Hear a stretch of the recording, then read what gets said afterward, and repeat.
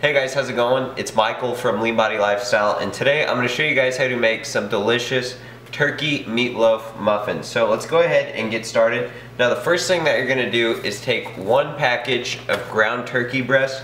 You can get this at most grocery stores and I like turkey because it's pretty lean. So we'll just open this and put the turkey in a large bowl just like this one. And then the next thing that we're going to add is one egg white. Next, what you're gonna do is measure out a half a cup of oats. All right, so now that we have those three ingredients, really the rest is up to you. You can customize it to your liking, but I'm gonna show you guys what I like to do with mine, but feel free to experiment with different spices and seasonings at home. So today I'm going to add four tablespoons of some fresh cut salsa.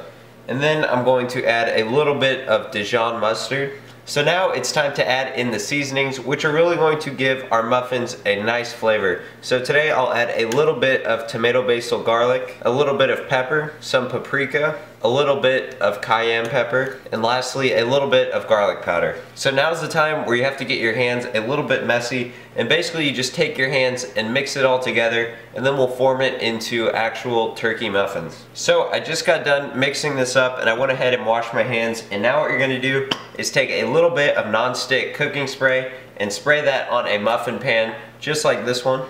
And now it is time to form the turkey into actual muffins. So to do that, all you do is take a little bit of turkey and set it in one of the muffin holes. So now, as you guys can see here, we have our 10 turkey meatloaf muffins ready to go into the oven and today you're going to put them in the oven at 375 degrees Fahrenheit for around 25 to 30 minutes and you can obviously just keep an eye on them and you can take them out when they're done. So I'll see you guys then.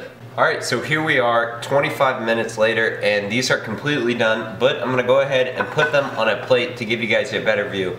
And this right here is our final product when you're done. You're to get 10 pretty good sized turkey meatloaf muffins.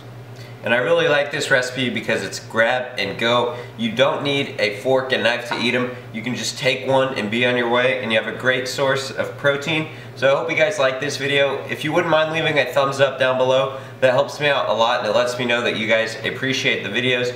And also stop by my Facebook, Twitter, and website. All of those links will be in the description for you guys to check out. But thanks again for watching. Hope you enjoyed this one and I'll talk to you next video. Bye.